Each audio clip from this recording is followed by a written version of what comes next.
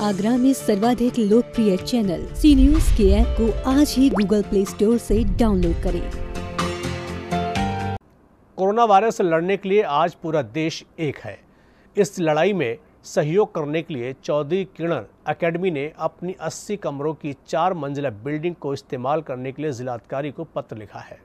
Corona virus से लड़ने के लिए जहाँ पूरा देश एकता की मिसाल पेश कर रहा है तो वहीं लोग अपने स्तर से सरकार की मदद करने की इच्छा भी जता रहे हैं। तो ऐसे में चौधरी किरण एकेडमी के निदेशक शिवानी चौधरी ने भी जिला अधिकारी को एक पत्र लिखकर अपने कॉलेज की बहुमंजिला इमारत में आपातकालीन चिकित्सा हेतु तीस कमरे उपलब्ध कराने की इच्छा जताई है। ये पूरा मामला इस वायरल, इस कोरोना के चक्कर में हमारे यहाँ आगरा में बहुत बेडों की और उनकी बिल्डिंग की बहुत कमी है। अगर ये ज़्यादा फैलता है तो प्रशासन पे इसका कोई इंतज़ाम नहीं है। इसलिए हमने सोचा है कि ये हम कुछ और ज़्यादा ना कर सकें तो अपनी बिल्डिंग इसके डीएम साहब से पूछ के तो इसके लिए हम दे सकें।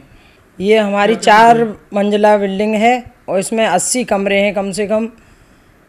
और क्या क्या और सुविधाएँ? पूरी पानी जनरेटर बिजली पूरी सुविधा हमारे पास है। ये जिलाधिकारी के माध्यम माध्यम से ही हमने इसको आगे बढ़ाया है कि उनसे हमें वो मिली थी कि आप अगर हमें ज़रूरत पड़ती है तो आपकी बिल्डिंग को हम बिल्कुल उपयोग में लेंगे। डॉक्टर रामेश्वर चौधरी ने बताया कि जिलाधिकारी द्वारा भी पहल का स्वागत किया गया है। साथ ही आश्वासन दिया गया है कि आवश्यकता पड़ने पर वो इस बिल्डिंग का प्रयोग भी आपातकालीन चिकित्सा हेतु कर सकते हैं। जो कोरोना वायरस का असर है आगरा में उसको देखते हुए बेडों की और उनकी संख्या कम है। ऐसी स्थिति में हमने चार मंजिल भवन है हमारा। पानी की, बिजली की, जनरेटर की सारी सुविधाएँ वहाँ मौजूद हैं। तो इसी स्थिति में बिल्डिंग को हमने प्रशा जिला प्रशासन को, जिलाधिकारी जी को पत्र लिखा और उनके, जो जिलाधिकारी के पीए हैं, आशु दुबे जी, उनसे हमने हमारी बात हुई, जिलाधिकारी जी को हमने व्हाट्सएप किया और उनके द्वारा आश्वस्त किया गया हमको कि जैसे ही हमें आपकी आवश्यकता होगी, हम आपको तुरंत कॉल करेंगे।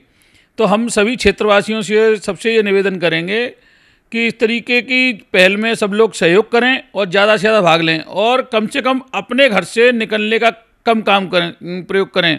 जो लोग सरकार लॉकडाउन घोषित किया है, सरकार कर्फ्यू जैसे हालात बनाने जा रही है तो वो सिर्फ़ आपके लिए कर रही है।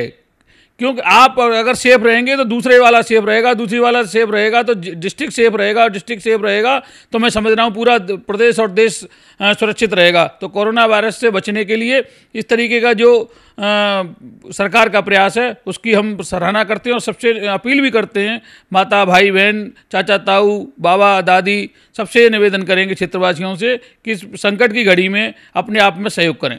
इस दौरान बीजेपी प्रदेश कार्यकारिणी सदस्य डॉक्टर रामेश्वर चौधरी ने भी चैनल के माध्यम से जनप्रतिनिधि और संपन्न लोगों से संकट की घड़ी में आर्थिक तौर सरकार के हाथ को मज़बूत करने की अपील की है। Anil, C news, Agra.